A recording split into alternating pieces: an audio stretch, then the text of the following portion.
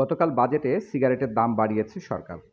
এই দামটি একটি যুগান্তকারী ঘটনা, কারণ এর আগে সিগারেট কোম্পানিগুলো ইচ্ছে মতো দামে সিগারেট বিক্রি করত সেটি বন্ধেরও নির্দেশনা দিয়েছে। অর্থাৎ প্যাকেটের গায়ে যে মূল্য লেখা থাকবে, সর্বোচ্চ খুচরা মূল্য, তার বাইরে এক টাকাও বেশি দামে বিক্রি করতে পারবে না। এখন সব স্তরের সিগারেটের দাম বেড়েছে। সবার আগে যদি বলি বেনসন সিগারেট বা মালবড়ো সেটার দাম কিন্তু তিনশো টাকা। এর বাইরে এক টাকাও বেশি দামে বিক্রি করা যাবে না। সেটি কিন্তু এখানে এনবিআর এর যে নির্দেশনা, সেখানে বলা আছে। গোল্ডলিপ সিগারেট সেটার দাম ছিল দুশো বাইশ টাকা, সেখানে চার টাকা বিশ শলাকার প্যাকেটের দাম বাড়িয়ে দুশো ছাব্বিশ টাকা করা হয়েছে। এর বাইরে এক টাকাও বেশি দামে আপনারা কিনবেন না, আশা করি।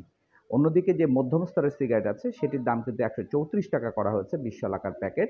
আর নিম্ন স্তরের ডার্বি শেক হলিউড পাইলট সেই সিগারেটগুলো বিক্রি হবে নব্বই টাকায়। এই যে দেখেন, জাতীয় রাজস্ব বোর্ড আইন করে বলে দিয়েছে যে সর্বোচ্চ খুচরা মূল্যের অধিক মূল্যে কোনো পর্যায়ে সিগারেট বিক্রি করা যাইবে না।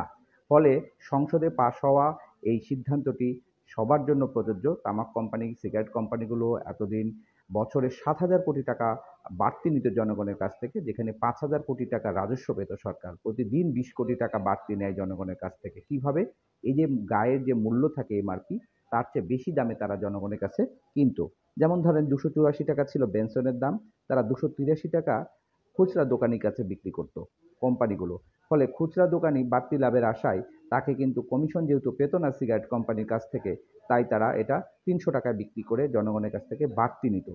সিগারেট কোম্পানির এই অবৈধ ব্যবসা রোধ করার জন্য গত সাত এপ্রিল দু হাজার বাইশ আমি নিউজ করেছিলাম, আপনাদের মনে আছে? তা আমলে নিয়েই এনবিআর এই সিদ্ধান্ত দিল। যেটা বাংলাদেশের ইতিহাসে একটা যুগান্তকারী ঘটনা যে সিগারেটের এমআরপির বাইরে এক টাকাও বেশি দামে বিক্রি করা যাবে না। এই আইন বাস্তবায়নে এনবিআর উদ্যোগ নেবে, ভোক্তা সংরক্ষণ অধিকার উদ্যোগ নেবে। আপনারা ভোক্তারা আছেন, আপনারাও বলবেন যে গায়ের প্যাকেটের দামের চাইতে এক টাকাও বেশি বিক্রির কোনো সুযোগ নেই। এটি কিন্তু আইন করে দিয়েছে এনবিআর। ফলে এটি সংসদে পাশ করা মানেই প্রস্তাব খাওয়া মানেই কিন্তু সবার জন্য প্রযোজ্য। সিগারেট কোম্পানির এই কর ফাঁকি রোধে এই যুগান্তকারী ঘটনার জন্য আমরা এনবিআরকে যেমন অভিনন্দন জানাই, একই সাথে সরকারের অন্যান্য সংস্থাগুলোকে যারা বাজার মনিটরিং করবেন, তাদেরকে অনুরোধ করি যেন গ্রাহকদের কাছ থেকে বাড়তি টাকা সিগারেট কোম্পানিগুলো নিতে না পারে। জাতীয় রাজস্ব বোর্ডকে পুনর্বার অভিনন্দন